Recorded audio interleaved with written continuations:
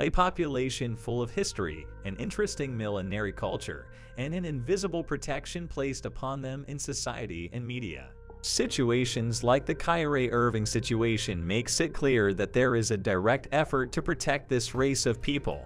We hear about the Holocaust and all, but what is really the grounds for all this protection?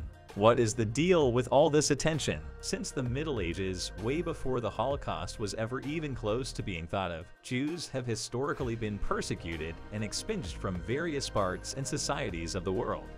On July 18, 1290, all Jews were expelled from the Kingdom of England. In 1791, Russia under Catherine the Great instituted the Pale of Settlement, which restricted Jews to the western parts of the empire by deportation. In 1683, Jews were expelled from Haiti and all other French colonies. The expulsion of Jews came from societies not liking the idea of having a faction within their nations. For example, imagine you have a nation built around the laws of the USA Constitution. Now imagine you have a large group of society who has open conflicting values and ideologies of the USA and one day plan to create a larger nation of their own. This new faction state becomes a direct threat to the USA because it creates a black hole. The faction state will exploit and benefit from the USA people to their own nation's benefit.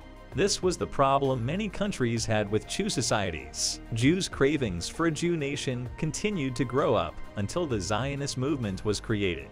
Zionism is a movement that supports the establishment, maintenance, and support of a homeland for Jewish people, preferably in Palestine.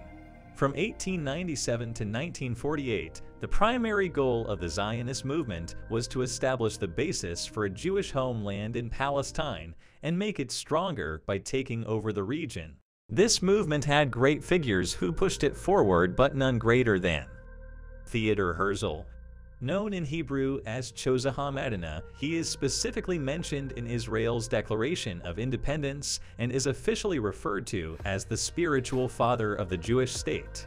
Herzl founded the Zionist organization and promoted Jewish immigration to Palestine in an effort to establish a Jewish state. Growing up, he was actually greatly fond of German culture and saw the Germans as the best educated people in Central Europe and embraced the German ideal of self-cultivation. He believed that through education, Hungarian Jews like himself could shed their shameful Jewish characteristics caused by long centuries of impoverishment and oppression and become civilized Central Europeans, just like the Germans. One day, as a correspondent for a French news channel, Herzl followed the Dreyfus case. The Dreyfus case is an infamous anti-Semitic incident in France in which a Jewish captain in the French army was falsely convicted of spying for Germany. Herzl himself stated that the Dreyfus case made him a Zionist and that he was particularly affected by the chance of death to the Jews from the crowds. Thus, Herzl came to believe that antisemitism could not be defeated or cured, only prevented, and that the only way to avoid it was to establish a Jewish state. By this time, he had already begun to hear about the Zionist movement. Early 19th century, People all over the world started to realize this Zionist movement and decided to combat. Other countries also began developing their own nationalist movements. One of these countries was Germany.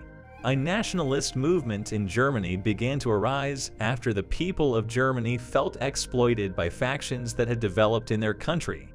Germany created an entire German state, decided that Jews were no longer welcome there, and instituted programs to rid their country of non-Germans. As nationalist movements spread throughout Europe and Asia, these expanding empires eventually collided, and World War II began. Post-World War II After World War II, there was an influx of Jewish refugees, and almost all of them had their sights on Palestine. But many of these refugees who came to Palestine caused great problems for the Palestinian people. You see, people and societies already inhabited the region, and many begin arguing that the Jews from the Zionist movement are not the same past inhabitants or natives from the area. Despite this, the Jews were determined to accomplish their goal. The Jews started many attacks, insurgents, and riots to take over Palestine.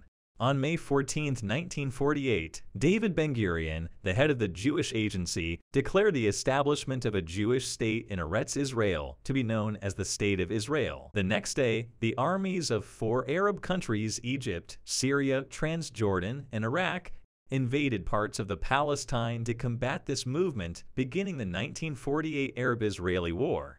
The ostensible purpose of the invasion was to only prevent the establishment of the Jewish state at its inception, and some Arab leaders spoke of returning the Jews to where they came from. The UN estimated that more than 700,000 Palestinians were displaced or fled the advance of Israeli forces during the conflict, which would become known in Arabic as the Nakba or the catastrophe. About 156,000 remained and became Arab citizens of United Nations by majority vote on May 11, 1949. Jews do not want to provoke skepticism about their movement, as their actions may not be seen as morally correct in the eyes of some.